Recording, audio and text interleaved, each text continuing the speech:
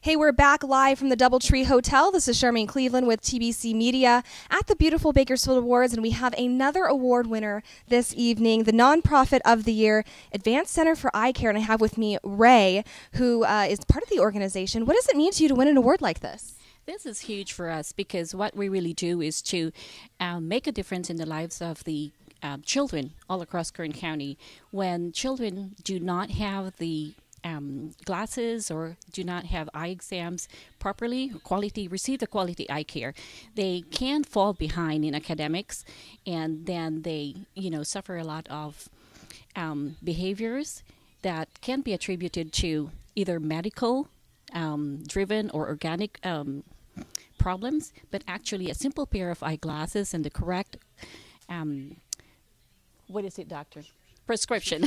Thank you. So Yes, yes, and then they, you know, they're able to perform at, fa- at par with their colleagues and their their uh, their peers, and it hugely makes difference for them. We're very very excited because it's the first ever. So, um, like Dr. Dank said, we continue to do work, and we started six years ago. Justin Cave is not here to receive the honor, so we're very very proud to receive this on his behalf and everyone that works to make sure that we uh, provide continue to provide our free services to the underinsured and uninsured of Kern County. Absolutely, and congratulations. Enjoy your award and have a great evening. Thank you.